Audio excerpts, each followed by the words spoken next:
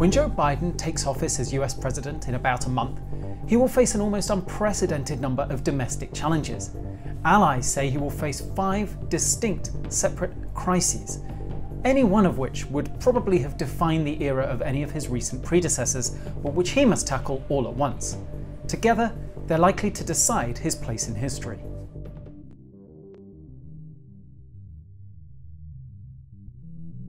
Top of the agenda for Mr. Biden, of course, will be curbing the coronavirus pandemic.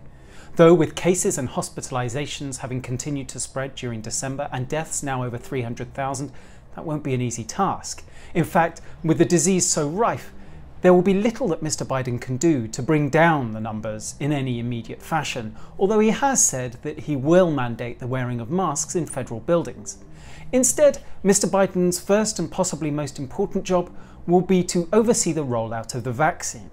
A politically and logistically fraught task involving not only getting the vaccine to even the most remote parts of rural America, but also making sure that enough people take it to guarantee what's known as herd immunity.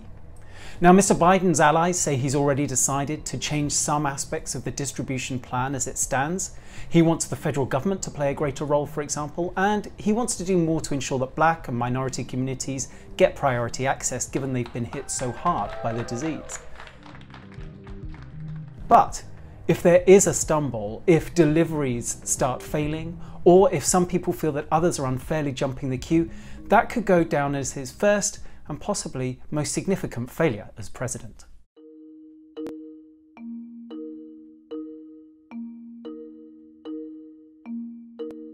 Politics in Washington right now might be about the virus, stupid, but the economy still matters too.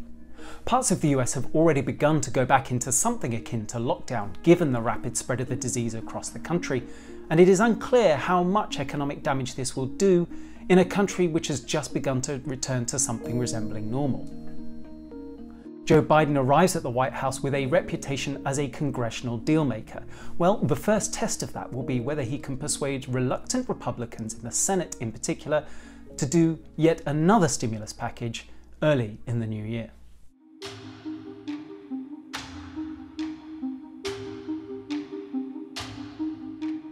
Some of Mr. Biden's most ambitious campaign promises were to do with climate change. He promised to help US electricity production get carbon free by 2035, for example, and the country as a whole reach net zero emissions by 2050. Some of this will be achieved by building new infrastructure to allow for more widespread use of electric vehicles, or for updating buildings to make them more energy efficient.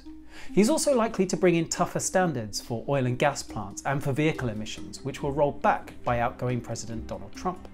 But this is the low hanging fruit. Far harder will be persuading Republicans in Congress to agree to a major spending bill to incentivize green energy.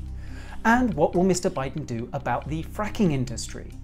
The fracking industry is huge in the US, and of course, while it contributes to climate change, it also employs a lot of blue collar workers in swing states such as Pennsylvania. If Mr. Biden does decide to clamp down on that industry, he stands to lose votes. But if he doesn't, he's likely to be accused of not being serious about meeting those ambitious goals he set.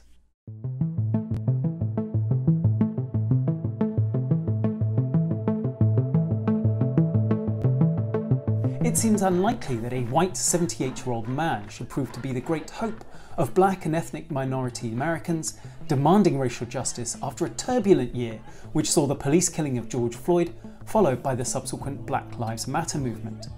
But Joe Biden has always enjoyed great support among parts of black America. His primary campaign looked doomed, for example, until black Democrats turned out for him in force in South Carolina, urged on by the veteran Congressman Jim Clyburn.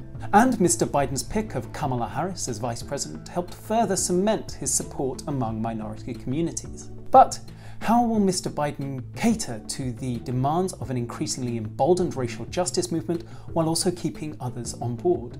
He has already said he does not agree with the Black Lives Matter demand to, quote, defund the police, but will he back meaningful reform? And what will he say if and when there is an incidence of police violence against an innocent black person? That could end up being an early test.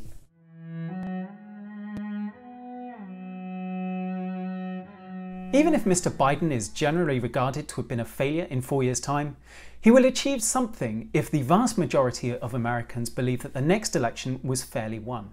Outgoing President Donald Trump has not made it any more likely that he will stay in power, but he has managed to persuade nearly a third of voters that the election was stolen from him. Mr. Trump came into power promising to take on what he called the deep state, and while he hasn't managed to upend the US government in quite the way he promised, he has managed to create widespread distrust of US institutions. No wonder so few Americans trust government scientists when told to wear a mask for example. If Mr. Biden manages to achieve one thing, he will want to restore faith in the people and organisations that underpin US democracy. And if he fails, who knows what will come next.